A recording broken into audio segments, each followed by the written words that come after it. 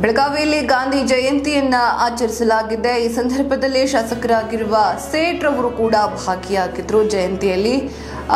ಬಾಪೂಜಿಯವರಿಗೆ ಅಥವಾ ಗಾಂಧೀಜಿಯವರಿಗೆ ನಮನ ಸಲ್ಲಿಸಿದ್ದಾರೆ. ಇನ್ನು ಈ ಸಂದರ್ಭದಲ್ಲಿ ಮಾತನಾಡಿದಂತಹ ಅವರು, ಬಾಪೂಜಿಯವರ ಜೀವನವೇ ಒಂದು ಸಂದೇಶವಾಗಿದೆ. ಅವರು ಹುಟ್ಟಿ ಇದೀಗ ನೂರು ವರ್ಷಗಳು ಆಗಿರುವಂಥದ್ದು ಸ್ವರಾಜ್ಯಕತೆ ಅನ್ನೋದು ಅಲ್ಲಿಂದ ಶುರುವಾಯಿತು ಅಂತ ಅವರು ತಿಳಿಸಿದ್ದಾರೆ. ಬನ್ನಿ ಹಾಗಾದ್ರೆ ಏನು ಮಾತನಾಡ್ತಾರೆ ಸೇಠ್ರವರು ನೋಡೋಣ. ಇವತ್ತು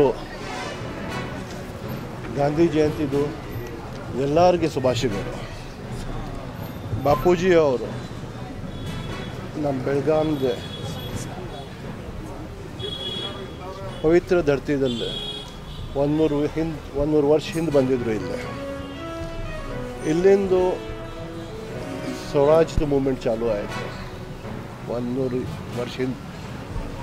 ಆಲ್ ಇಂಡಿಯಾ ಕಾಂಗ್ರೆಸ್ ಅಧಿವೇಶನ್ ಇಲ್ಲಿ ಬೆಳಗಾಂದಲ್ಲಿ ಆಗಿತ್ತು ಇಲ್ಲಿ ಎಲ್ಲ ನಮ್ಮ ಲೀಡರ್ಸ್ ಬಂದಿದ್ದರು ಕಾಂಗ್ರೆಸ್ಗೆ. ಮಹಾತ್ಮ ಗಾಂಧೀಜಿ ಅವರಿದ್ದರು ಬಾಬಾ ಸಾಹೇಬ್ ಅಂಬೇಡ್ಕರ್ ಅವರಿದ್ದರು ಅಲಿ ಬ್ರದರ್ಸ್ ಅವರು ಇದ್ರು ಎಲ್ಲ ಸೀನಿಯರ್ ಎಲ್ಲ ಸೀನಿಯರ್ಸ್ ಇಲ್ಲಿಂದ ಈ ಸ್ವರಾಜ್ಯದ ಮೂಮೆಂಟ್ ಸ್ಟಾರ್ಟ್ ಆಯಿತು. ಪೂರ್ಣ ದೇಶದಲ್ಲಿ ಈ ಪ್ರೋಗ್ರಾಮ್ಸ್ ಸ್ಟಾರ್ಟ್ ಆಗಿ ನಮಗೆ ನೈನ್ಟೀನ್ ಫಾರ್ಟಿ ಸೆವೆನ್ಗೆ ನಮಗೆ ಸ್ವಾತಂತ್ರ್ಯ ಸಿಕ್ತು. ಇದು ಮೂಮೆಂಟ್ ಏನು ಸ್ಟಾರ್ಟ್ ಆಯಿತು ಇಲ್ಲಿಂದ? ಇದು ಟೋಟಲಿ ಒಂದು ನಾನ್ ವೈಲೆಂಟ್ ಮೂಮೆಂಟ್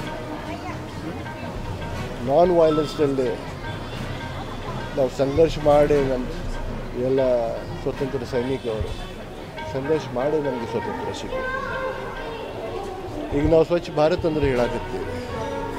ನಾವು ಮಹಾಪೌರ್ ಮೇಡಮ್ ಎಲ್ಲದೂ ಒಂದು ತಿಂಗಳಿಂದ ಚಾಲೂ ಇದೆ. ಸ್ವಚ್ಛ ಸಿಟಿ ಇರೋ